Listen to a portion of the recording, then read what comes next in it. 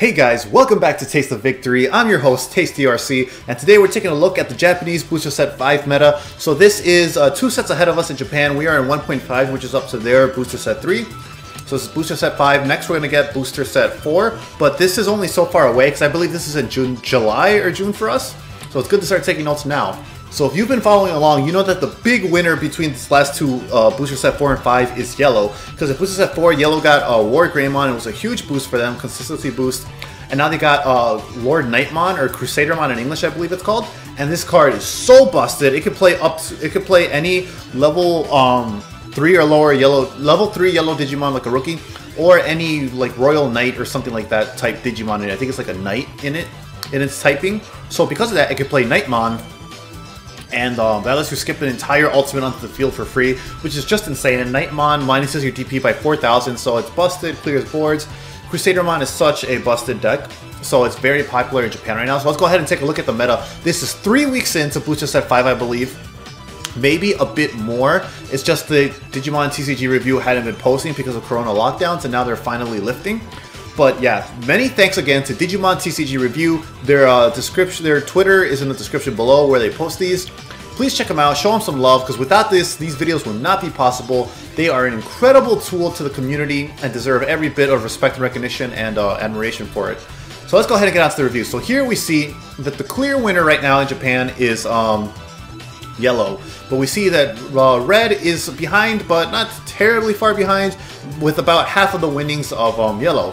If we look at the actual breakdown for the week of um, March 15th to 21st, we see that yellow actually has double the tops of the second highest number, which is red with seven tops. So do keep in mind that this is like just a bunch of locals and not even that many. So this is out of 34 tops for that week for 34 local events.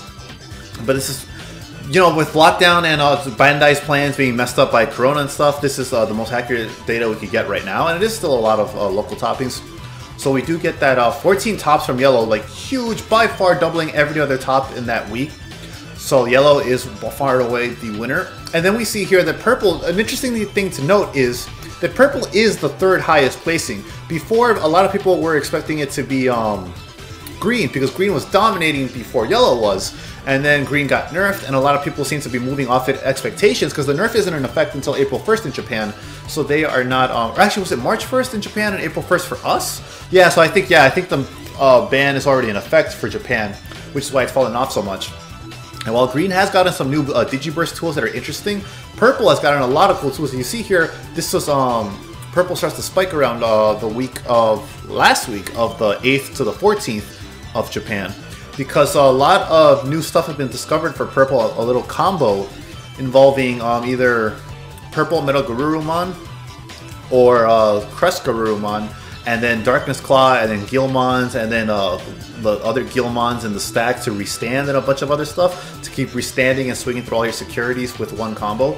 And that is a very fun deck, very powerful, but it is kind of um, glass cannony is the thing, so I don't know how good it actually is outside of like hoping you draw into everything. But it's seeing traction in Japan and actually becoming the third most top deck in, of this current week, of the week ending uh, current as in a uh, most current results tracked by Digimon TCG Review, which was the week ending the 21st. So yeah, most current.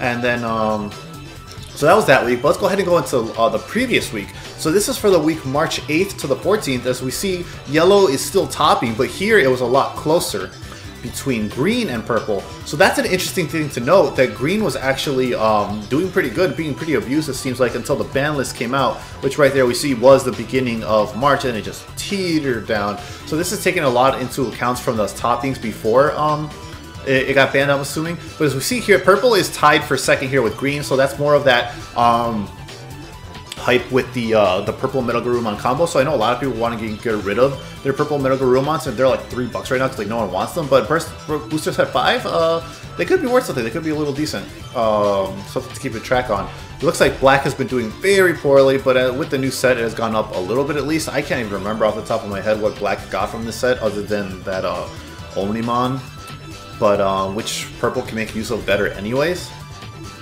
But yeah, we do see a little bit of a rise for it. If we go two weeks back, so this is the first week of March, the 1st to the 7th, we see not too many results here because this was just the start of the lifting of lockdown for Japan. But we do see that yellow is still, once again, on top here, but it's a lot more closer because of the lack of results. Uh, yellow and then red and green. But yeah, that is yellow still taking away the top. So by and far, best deck right now in the meta is uh, currently yellow but with red is a close second. So let's go ahead and see at these topping lists and why is that. So here we got four uh, lists pulled up. This is the Google spreadsheet that um, Digimon TCG Review provides. And if you look at this, this is an incredibly detailed spreadsheet with the history of toppings all linked, linked here. Um, for you to go to their Twitter and see the list and then a breakdown of the cards that they are running. So unbelievable, powerful tool. So many thank yous to uh, Digimon TCG Review for providing this to us. And here we have uh, the most recent topping on this video in this spreadsheet as of now, as of recording, and that is uh, this Lord Knightmon build, which is pretty standard. So we have Lord Knightmon as your 4L Mega, your main boss, and then you have Slash Angemon as your backup.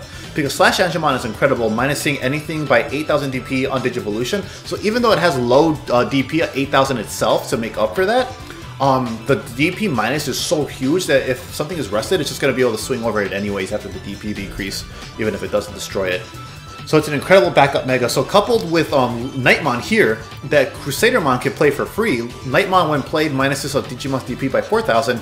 So Digivolve a um, slash Angemon over this, you suddenly decrease something's DP by 12,000. So that destroys it right there and now, like right alone. Like that is insane and so oppressive and hard to keep up with because not only are you getting such a huge advantage in your board state, you now have two megas on the field, but you also uh, removed your opponent's mega in the process or whatever else they were building in the stack, and it's huge. But let's see what else goes into these decks. So we have here the um, Salamon, the two-cost rookies are always going to be played in any deck because they're just so cheap to play onto the field and help you go wide, help you choke your opponent at one memory. We got Bushi Agumon because Bushi Agumon is great for being cheated out through Crusadermon's effect because it has Rush. So you can ignore the five cost and just swing that turn for game. If you have, you know, like only one security left, you need one last check to destroy to win per game. Bushi Agumon lets you attack because its ability Rush lets it attack, lets it bypass um, Summoning Sickness and attack the turn it's played. We have Kotemon here. Kotemon searches through your deck um, for top five cards for any uh, warrior or or knight type Digimon, I believe, are the uh, hits.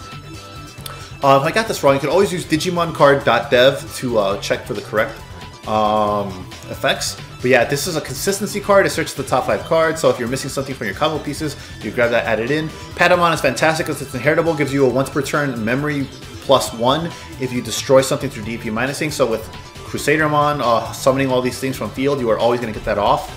So you know, that's an extra memory. Then uh, Starmon, another one contributes to the DP minusing.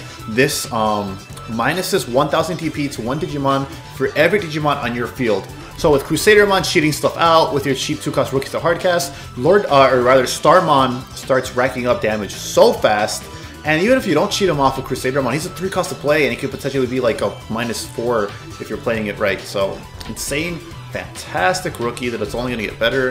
And then for Tamers, they see 3 TK is going to be very common, because TK is important for consistency, because you have Kotemon, you have TK, you're searching your deck, and now you are searching your security. So, like, there is nowhere for your cards to hide from you, you will get them, and then it sets you 3 to memory or rather it sets you your memory to 3 if you are below it, so that is crucial to be able to play Crusadermon without passing turn and still keep it your turn to use its when attacking effect. So TK is a staple in any of these decks. And then we got Gladimon. So Gladimon, uh, similar to um, TK, it lets you search a security for a Digimon with Knight in it, I believe, or maybe a keyword. I don't remember off the top of my head just now, but it's another consistency card. And I actually am not the biggest fan of um, Gladimon because it's forecast to play and you already have so many other consistency tools. There are better champions you could be running in um, yellow that it feels kind of like a trap. Um, like you think, oh, that's a consistency, but at this point, I feel it becomes diminishing returns, so you don't really need it.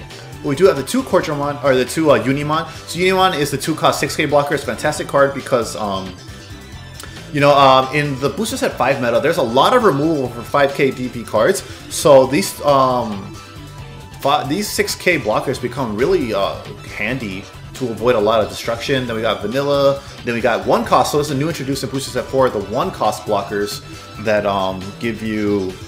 It's a blocker for one cost, but it's 5k. It's a trade-off, and now there's a lot of 5k hate. Uh, this is a removal card, and minuses DP for 4 based on how many Digimon you have on the field, I want to say. Uh, Vanilla Ultimate, Knightmon, and then uh, War Growlmon for the Digiburst effect. Because his Digiburst is uh, discard two sources and then minus 4,000 to a Digimon. And then, of course, the Boulder Arm, Chaos on Boulder Arm, because when Digivolve, minus 7,000 to two of your to one of your opponent's Digimon, or like you know distribute it however you like. So you can potentially get minus 14k to something, get rid of a Ragnaloardmon or an Omnimon, something like that, or the new advanced Omnimon introduced in this set. And then for the eggs, you're gonna see this a lot. It's the four Coromons or Pikmons, and then one Coromon. So this is either gonna be Coromon to uh, continue with that DP minusing theme of the deck, or it's gonna be an Upamon for draw consistency. If we look at another topping list, uh, first place, this is a lot of similar, so exact same four Pikmin, for Pikmon, and then we saw the Upamon I just mentioned for drawing. Four blinding, uh, three blinding light because this discards one security and gets you two memory, so that's a fantastic card. TK, Bushi, that, Starmon, Kotemon, Vanilla, one cost blocker, two cost blocker. So basically, we see it's almost the entirely same list, except we got like one less Boulder Arm, running the this uh, option card, in exchange for the Crusadermon option card. But because uh, yellow's pretty much figured out in this set, because we see here again, same Starmon's at 4, you gotta max it. Pulse Pulsemon, so this is actually a promo with the Vital Bracelet in Japan. Uh, on our premium Bandai on our premium Bandai pre-orders, uh, we did not get this promo card, so I'm not sure how they're going to distribute it here. Probably a dash pack or a tournament entry reward. Then of course two of the Patamon. This is the Salamon, it's interesting because it continues the DP minusing theme of the deck.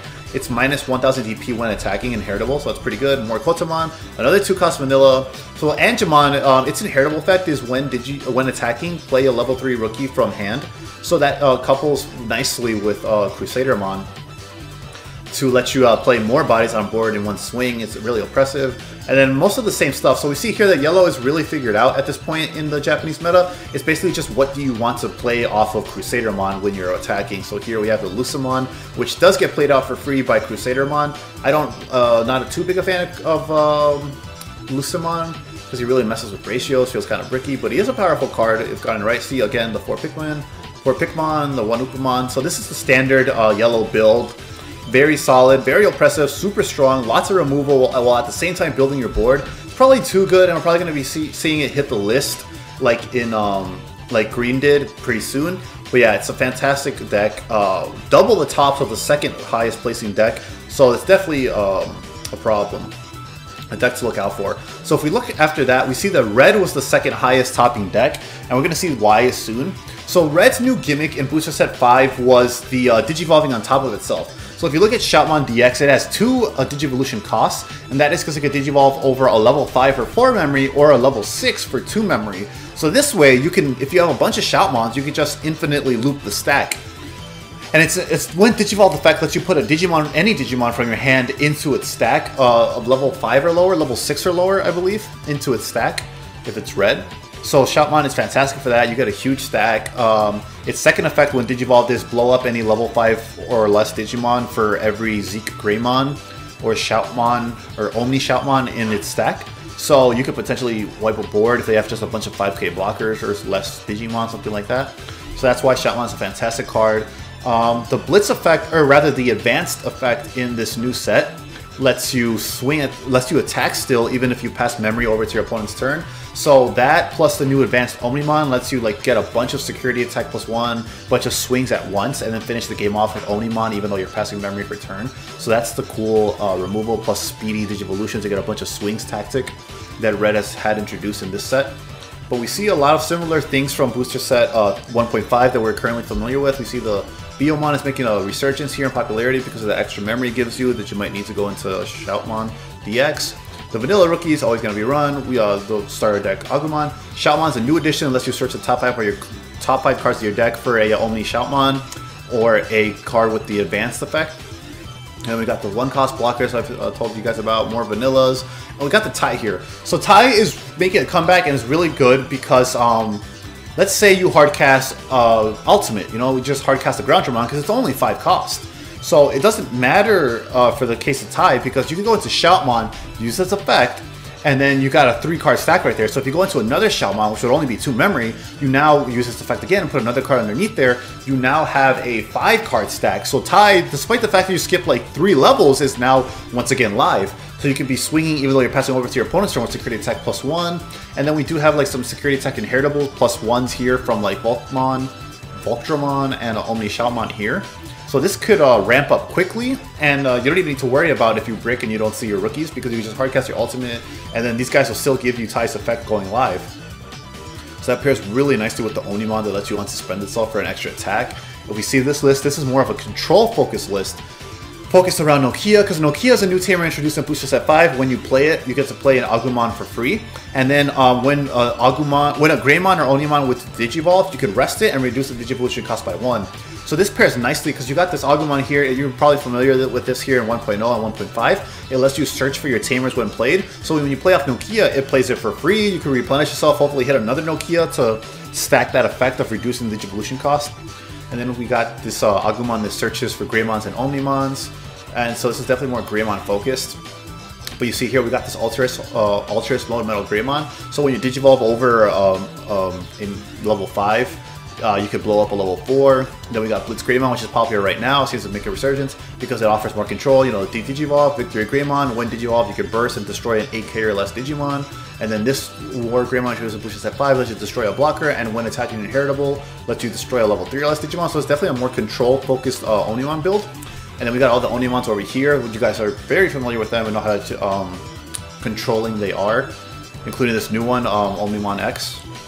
So yeah, this is the new uh, a more control focused build. And if you see this red here, this is uh, more traditional to the one we saw before with an Omnimon uh, Shoutmon DX focused build. Whole focus on going tall and swinging for game uh, with one security check. And then finishing it off with Omnimon for the rest. So that's what um, Red's build's kind of been.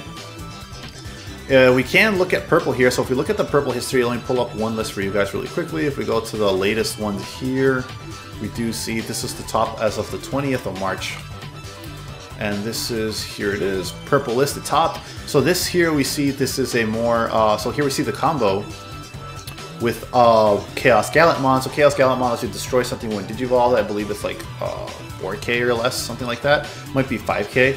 And then um, you have the War Growlmon underneath it, which gives security attack plus one. And then we got the Lily Devimon, lets you destroy more stuff paired well with that. And then the this um, Omnimon Zwart, I think, Omnimon Zwart and then um, it lets you play uh, up to two eight play cost or less Digimon, so that is pretty crazy with like say Chimeramon. You could get double removal, you could get all your blockers out, you could get War Greymon out, and then Digivolve into your combo with Gallantmon next turn. So this kind of combo, and then the purple Metal Garurumon combo that I mentioned earlier, let's see if we can find a topping list for it. Seems to be the two most popular uh, purple builds right now. They're pretty fun to pilot. Let's see if this is a good example of it here to show you guys.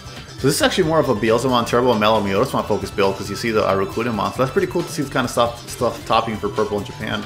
But yeah, so that is the big takeaway from this meta and why these two these decks are so strong.